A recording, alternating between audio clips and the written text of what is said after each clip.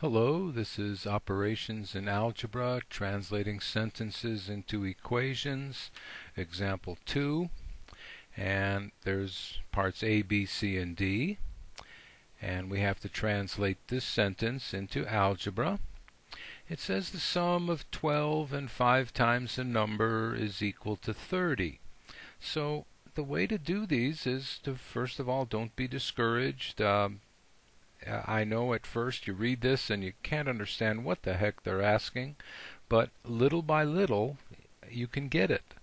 And you really don't get it until you finally write down the answer and you compare what you write to what's up here and see if it makes sense.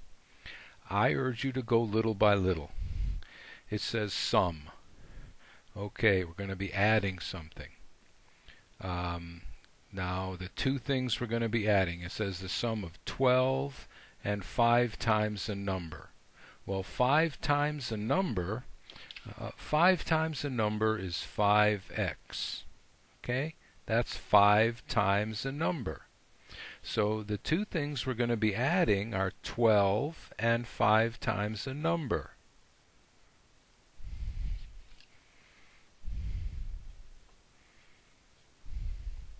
Is equal to 30. See, so little by little. Here we have the sum of 12 and 5 times a number is equal to 30. And you really don't know that you get it until you look at what you wrote and compare it to what the question is. Okay, we have 20 subtracted from. 20 subtracted from is going to be minus 20. 20 subtracted from the product of 2 and a number. Now, once again, the product of 2 and a number. See, that's the product of 2 and a number. So 20 subtracted from this. 20 subtracted from 2 and a number is 14. And once again, you got to take it apart just like I did. Write what you know. If it says subtracted, put the minus sign down. 20 subtracted from, that's 20 subtracted from the product of 2 and a number is 14, and that makes sense. The quotient of 9 and a number added to 30 is 33. Well, um, uh, I, again, you have to look at what you have here. Uh, start any place. You can start at the back. We're going to have something is 33. The quotient of 9 and a number. Quotient of 9 and a number. Quotient is the answer to a division problem. Here's the quotient of 9 and a number quotient of 9 and a number. And um, in algebra, we would usually write this as 9 over x. 9, that's the quotient of 9 and a number. So the quotient of 9 and a number added to 30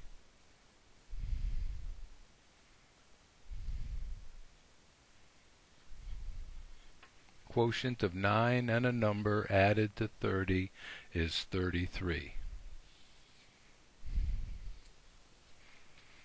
And now we have the difference.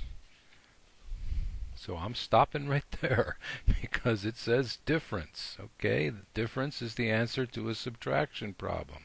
So whatever it is, and I'm not writing, reading anymore, I just saw the difference and I wrote down this.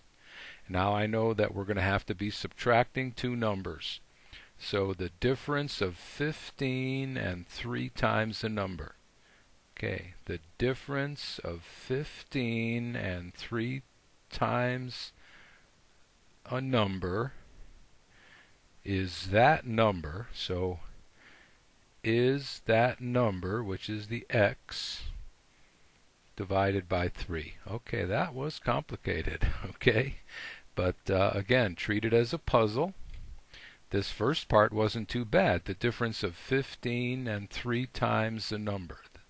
okay, is that number, okay, divided by 3.